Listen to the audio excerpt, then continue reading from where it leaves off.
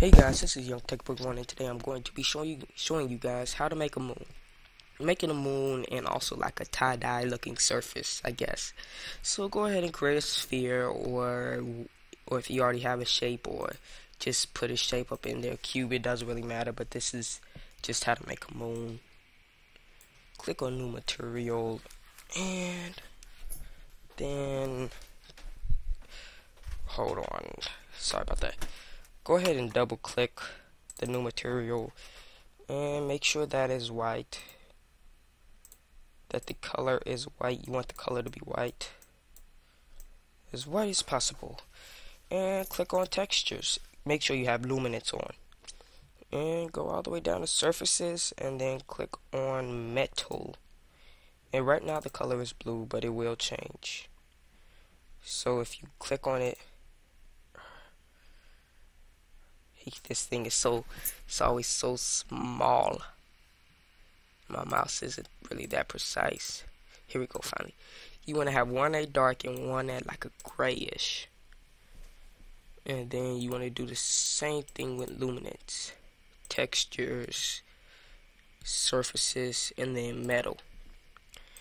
Uh, I was I didn't really when I found this out, I was like, oh wow, that's cool, but I wasn't actually looking around. I was thinking about it, so I just clicked on metal, and I just thought maybe like a rustic, like a metal feel, just, just like maybe all one color, where I, I don't know, look good. I thought it would be like one of the speculars, speculars or whatever you want to call it, and it'll look, I guess, metallic like.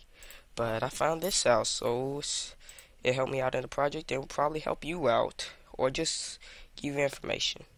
This is good for like, uh, oh yeah, I also said tie-dye, so I'm to take off luminance real quick. So I could just do this. Oops. Double click. And for like tie-dyeing, like I was saying, like a tie-dye look, you gotta click like right up on the top of these things just to get it. I hate doing it because it's so hard. Let me see.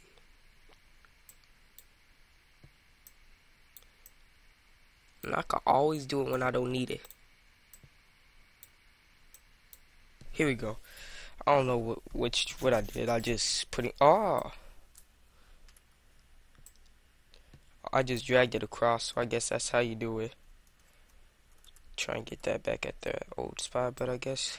Oh yeah, I was pressing Control Z because I do make a lot of mistakes when I'm editing, and I am right. You just drag it across, just like that just right up underneath it. And there we go. So like you can add in a red. Let's I'll just put in a red. And say I want it to be real dark. And then the white. Here we go. And then instead of a red up over there maybe a bluish color blend. And I guess yeah like I said tie-dyeing but are not really the best tie-dye colors. But I mean the colors are up to you the per the user or developer whatever you want to call yourself director to decide.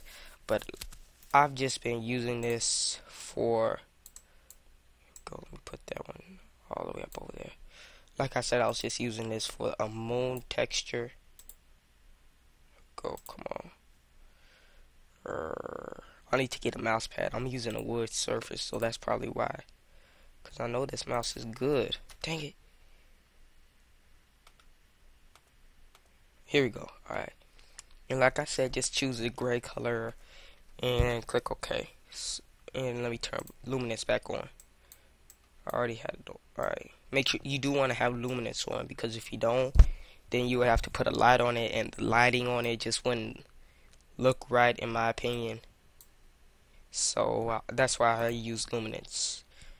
Since luminance is pretty much like a glow but it isn't it doesn't have that glowing orb on the outside.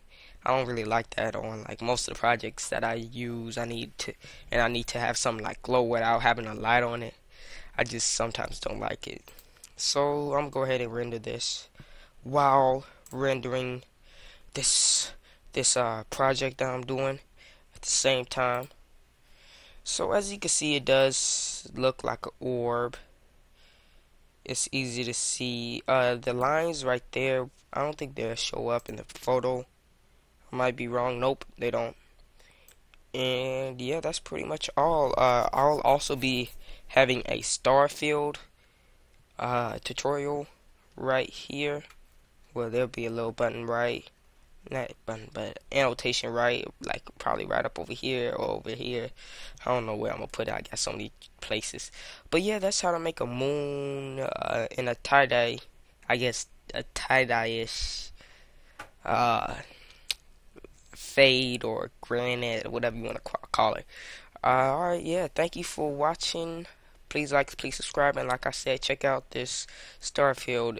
It's pretty awesome. Alright, bye.